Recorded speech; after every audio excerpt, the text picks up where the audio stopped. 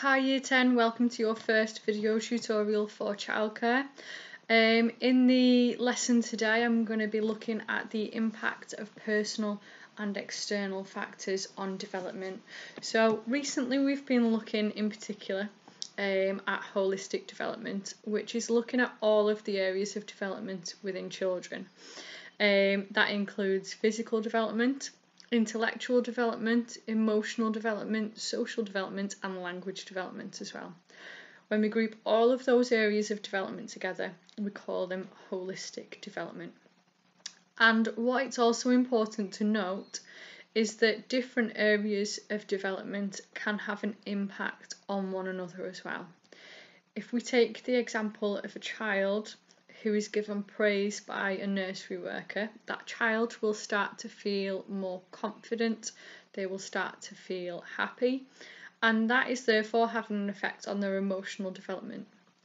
But if that child is feeling confident, you might see that that child is also then more likely to go and interact with other children. So it's actually having an effect on those, their social development as well. Um, the interaction between those different areas can also be part of holistic development.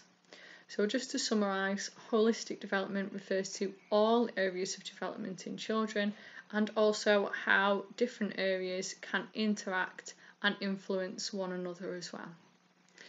Um, what we're going to be focusing on today, though, is the factors that affect that pattern of development.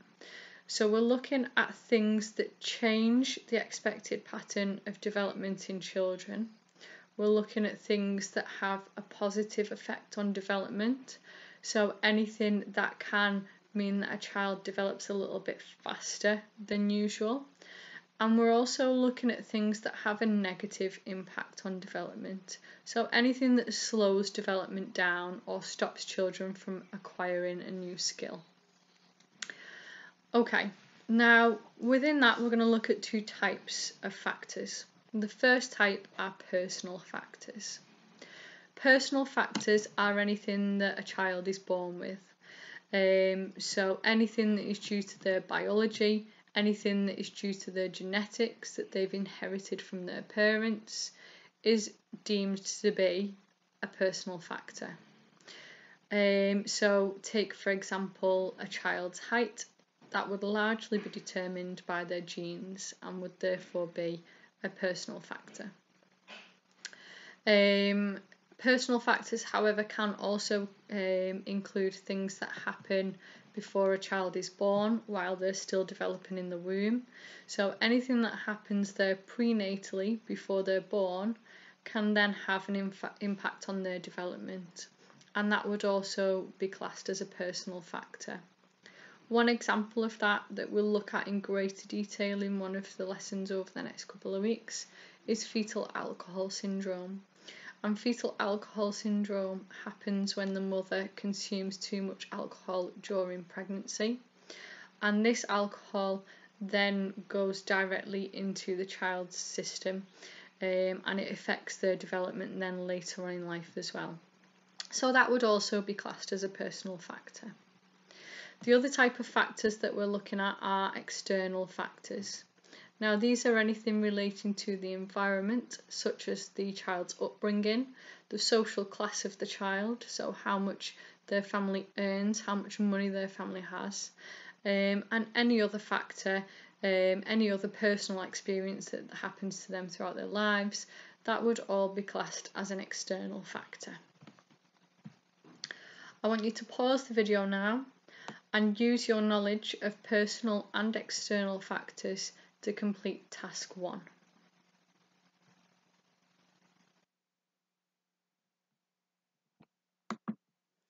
Okay, hopefully now you've managed to complete task 1. So you had a list of factors and you had to divide them into personal and external factors. So remembering that the personal factors are those that the child is born with that are determined by their genes and the external factors are anything that's coming from the child's environment. So I'm just going to run through a couple of examples of those just to make sure that you can check your own answers and make sure that you're on the right lines. Now the first one you've got is eye colour. Eye colour would be determined by a child's genetics. at birth, and it would therefore be classed as a personal factor. Other examples of personal factors include height, cerebral palsy, and learning difficulties. Love and interaction is one of the factors that you're asked to determine whether it was a personal or external factor. Love and interaction would be an example of an external factor that affects the child. So it's something that's coming from the child's environment. A safe environment would also be an example of an external factor. If you have any questions about any of the other factors that you've been asked to divide in that activity, please do comment and ask the question on Show My Homework and I'll make sure that I get back to you with an answer. We're going to look a little bit now in more detail at one factor in particular that affects holistic development and that factor is parenting. Now, it doesn't it won't really come as much as, of a surprise that parents have a big influence on a child. They spend most of their time with the child. It is probably the person that the child sees and interacts with the most. So during those early years between 0 and 5 parents have a huge influence on their child's development um, now, one of the main ways that children learn when they are very young is by copying others. And what we're going to do today is we're going to link this to a little bit of psychology. Now, in psychology, social learning theory suggests that children learn by observing and copying the behaviour of others. So they'll identify role models in their environment. Remember that role model is someone that the child looks up to to show them how to behave. So children will identify role models in their environment they will watch the behaviour of the role model and then they will attempt that behaviour themselves.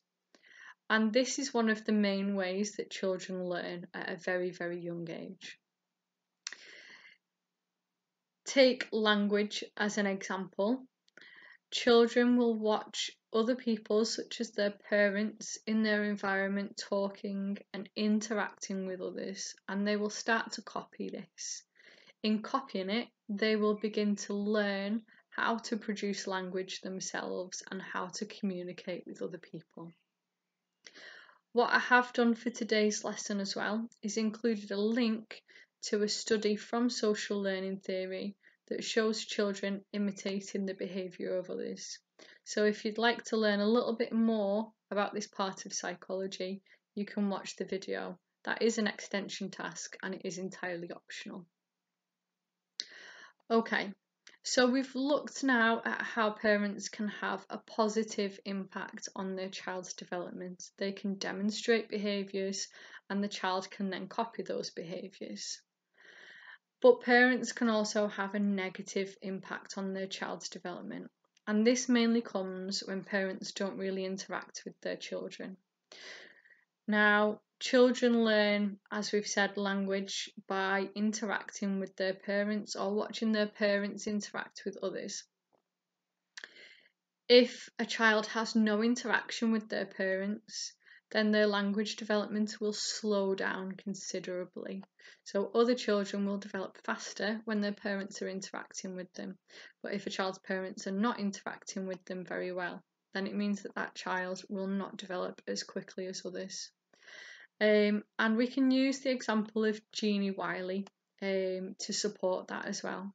Uh, Genie Wiley is a case that I asked you to look at in one of the previous lessons, but just to add a little bit of context, she was raised for 13 years with very, very little interaction with anyone at all. Her parents and her brother did not communicate with Genie. She was left in a room and she never really saw the outside world. Now, as a result of that, when she when she was discovered at 13 years of age, she was unable to communicate with other people. She could not produce language, and that is a clear example of how a lack of good parenting and a lack of interaction with parents has had a negative impact on a child's development. Okay, so what I want you to do now is I want you to have a go at the questions at the end of today's activity that are on Show My Homework. Produce answers that are as detailed as possible. And if you've got any questions at all, leave a comment for me and I'll get back to you.